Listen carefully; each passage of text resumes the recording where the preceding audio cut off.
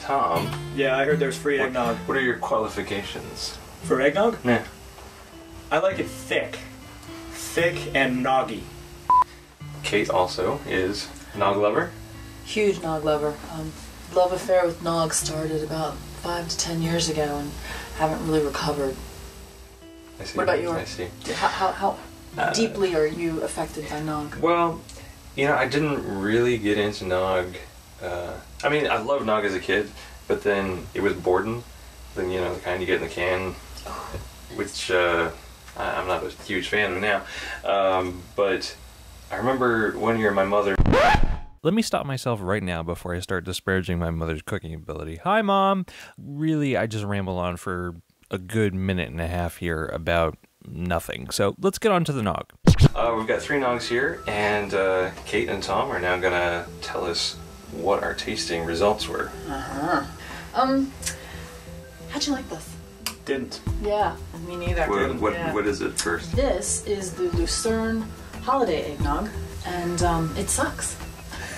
Uh, Subtle, but well, what is it that you didn't like about it? For me, it was thin. it was like flavored water. It was like someone's interpretation of eggnog without really being eggnog.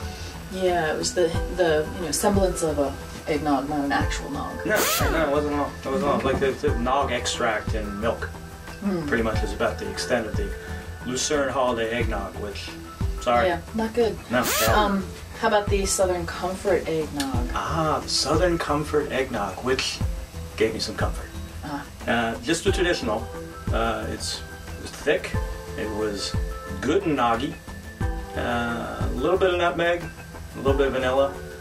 Um, but I mean, go, going to that directly after the uh, Lucerne holiday eggnog. I mean, you, we could have had chocolate milk and it would have been better. So, So the standard, the bar was low. The bar wasn't even there. Uh, okay, Bar was in the back able of the, to. Uh, yeah, bar was in the car. It was in the back of the car. It hadn't even been put on the stands yet. Even when we got to the Lucerne holiday eggnog. We should point out that the Southern Comfort traditional actually does not contain any alcohol, No, but but But uh, going going back to the going back to the Lucerne, um, I have to say that it felt like y- yes, it could. Is that what you wanted me to say? Yes, it could. Um, the Lucerne holiday eggnog actually tasted like it had a little bit of uh, like a like a rum extract in it. Um, but that bad stuff, not the good extract Nah. that you get from like, the, but you know, it, it had that fake flavor. yeah, fake was I think fake and bad. The two words you can take away from the Lucerne holiday eggnog. Getting back to Southern Comfort though, um, that's getting closer to what I remember eggnog tasting like when I was growing up. Um, I had the homemade stuff. Uh, I had the mostly the Borden stuff, the Borden's in a can, Ah, which for some reason doesn't exist anymore. We've looked high and low for the Bordens. In a can. There's a a can. shortage. Yeah. So if, if you have some in, in your area, take it. Hold on to it. Yeah. Yeah, it's going to be worth something. Yeah. And then what about our uh, Southern Comfort vanilla spice? That's my personal favorite. I keep that in the refrigerator at all times. Well, actually, just at Christmas time and only once because, well, we know what eggnog does to the girlish figure. so, but but Southern Comfort, the Southern Comfort Vanilla Spice, I found after, and I- I'm, I'm going to take a moment here because it's a very sad time for me. When I discovered the Safeway Gourmet Eggnog was no more. Uh, Safeway made a gourmet eggnog. Oh, was the best absolutely the best. And it was the always the go-to for nog. I just I'd never found nog that good. It was it was everything that I expected from a nog. And then suddenly, It fulfilled all your expectations. yeah, I needed to go no further. You know, after my first batch of, of Lucerne, oh, Lucerne, See, I'm all upset from the Safeway thing.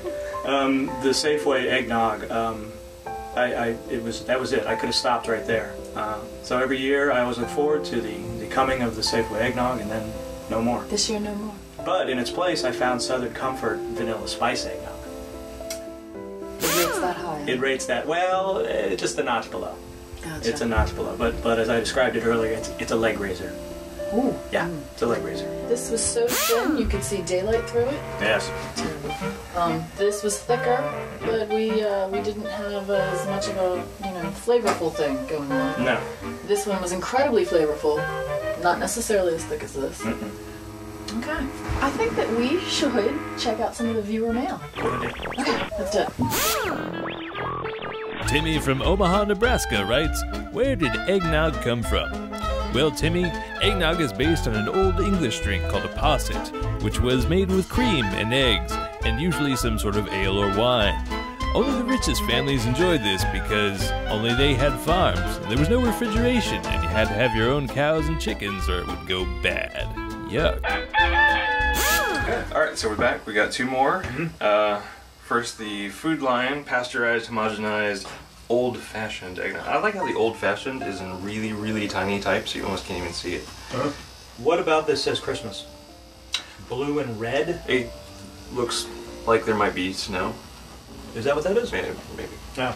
That's uh, clip art at its finest right there. How proud they must be of their marketing. Let's see. Yeah. Uh, so that one, It's artificial. It uh, uh, it's chalky. It's it's not dissimilar to cheese product.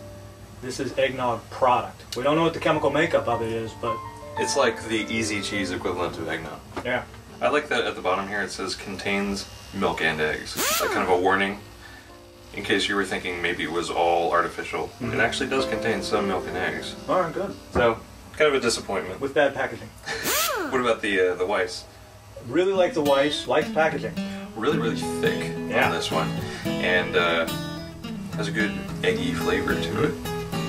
I, I I thought I detected like kind of a hint of rum to it, um, but Yeah. I don't know. Tom didn't think so. Not agreeing about the rum, but am agreeing about the thickness. The thickness was just what you want from an eggnog. It was, you know, it was almost buttery. Yeah, it was buttery. It was uh, a very, very kind of unctuous mouthfeel. Unctuous mouthfeel.